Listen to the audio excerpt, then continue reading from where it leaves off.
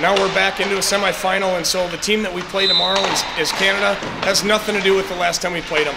Uh, certainly, we've got some things that we can learn from and, and try to get better at, but I expect a, a highly competitive game, a close game like it always is, uh, and I'm excited for it. I just think we need to focus on what we know, which is like we're a really fast team, focus on our speed, um, moving the puck fast, um, keeping a positive energy, and maintaining puck possession, and really focusing on our D zone, and then the offense will be generated off of that. We all really learned our role, and we're all supportive on the bench, or like if we're the ones that are you know going out every other shift, then everyone's supporting them, and we're all just able to you know like play team first, and that's what's made us successful.